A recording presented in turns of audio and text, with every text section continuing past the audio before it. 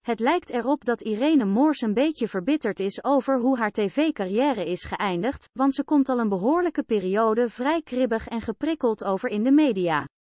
Laatst was ze weer boos op privéster-journalist Jan Uriot, omdat hij haar had geciteerd in een kop en ze kennelijk een beetje spijt had van haar straffe uitspraak. De kop in kwestie, Irene Moors, het boek Carlo is voor mij gesloten. Het was volgens Irene allemaal suggestief, uit zijn verband gerukt, etc., etc. Een beetje de gemiddelde reactie van BN'ers als ze spijt hebben van hun uitspraken zeg maar. Het maakte Jan boos. Je moet niet raar met mij gaan doen, riep hij.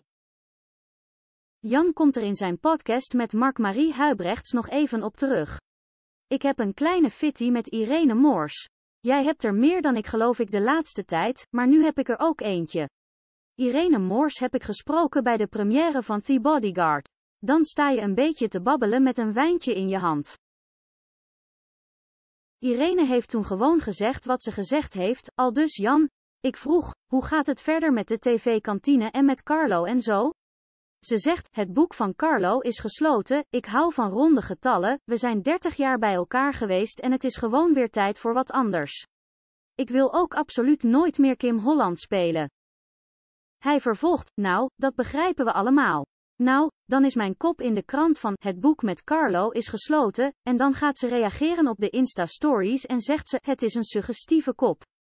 Ik vind het dan wel meevallen, want ze heeft het gewoon gezegd en wat is er nou suggestief aan? Het boek van Carlo is dan ook inderdaad echt gesloten. Jan heeft Irene telefonisch op het matje geroepen. Ik wilde gewoon van haar weten waarom ze daar dan zo'n toestand van maakt op dat Insta. Dan denk ik, doe dat nou gewoon niet. Ze weet mijn toon en die is altijd licht en humorvol enzovoorts. Dat weet ze ook al 20 of 25 jaar. Zijn co-host Mark Marie springt daarop voor haar in de bres. Mag ik het even een beetje opnemen voor Irene Mors? Want dat heeft ze voor mij ook een paar keer gedaan. Ik ken haar verder niet, maar ik heb wel een sympathie voor haar. Het was een paar weken geleden, hè, T-Bodyguard.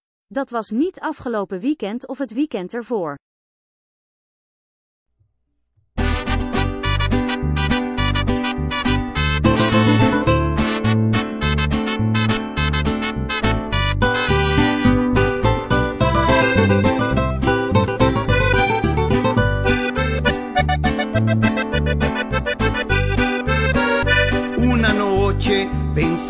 Tu traición, cómo fuiste capaz de herir mi corazón y pisoteaste todos mis sentimientos. No aguanto este tormento,